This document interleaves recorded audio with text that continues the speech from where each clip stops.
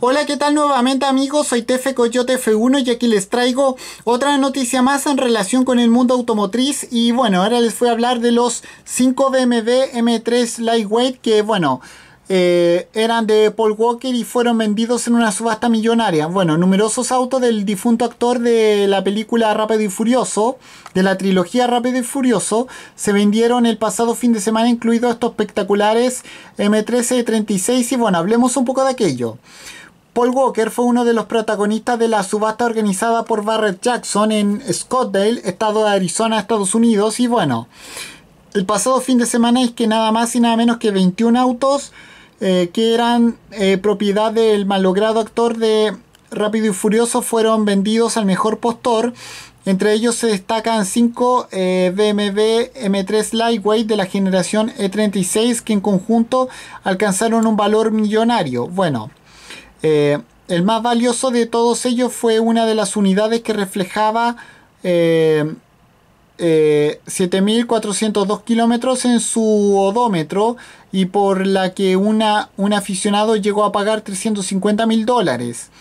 Bueno, eh, eh, lo siguen cerca de, cerca de cerca otro modelo un poco más rodado, pero igualmente espectacular con 68.419 kilómetros eh, recorridos que le costó 235 mil dólares a su nuevo propietario y otro con eh, 222.986 eh, kilómetros que alcanzó eh, un valor de 220 mil dólares. Los otros dos con 24.920 y 55.361 kilómetros en su marcador alcanzaron un valor eh, de 200 de 200.000 euros, el mínimo de las ventas realizadas, algo así como eh, algo así como 400 millones de pesos chilenos. Bueno, BMW construyó entre 120 y 126 unidades de esta edición especial de su M3,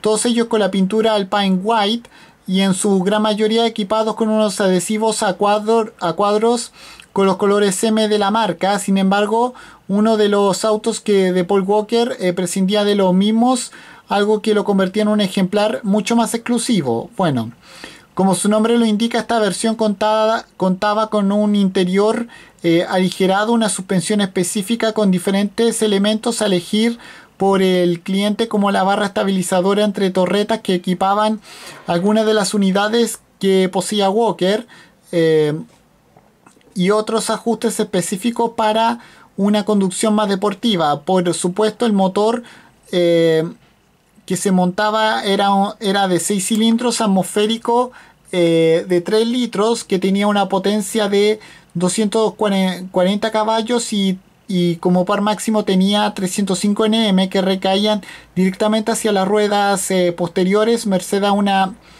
una transmisión eh, tipo manual de 5 marchas, toda una delicia. Y bueno, en total todos los BMW Lightweight de Paul Walker vendidos alcanzaron un valor de 2, de no 1,2 millones de dólares, algo así como eh, algo así como mil 1.400 millones de pesos chilenos y bueno eh, a los que se hay que a los que hay que añadir otros automóviles de gran valor que que también se despacharon en esta misma subasta como el Nissan 370S modificado que aparecía en la película Rápido y Furioso 5 que alcanzó un valor de eh, 105 eh, 105.600 dólares algo así como eh, 103 millones de pesos chilenos. Y con esto me despido. Adiós que me fuera. Chao